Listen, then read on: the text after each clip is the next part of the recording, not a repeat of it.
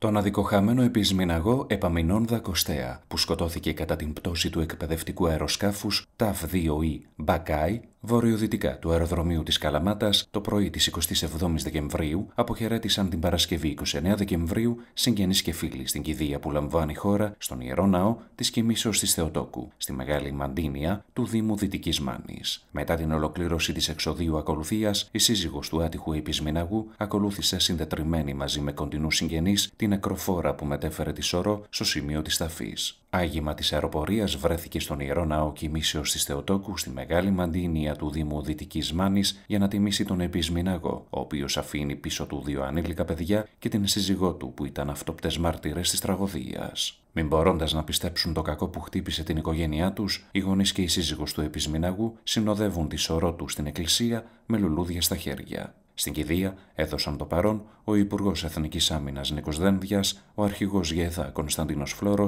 και ο Τομεάρχης Άμυνας του ΣΥΡΙΖΑ Ευάγγελος Αποστολάκης.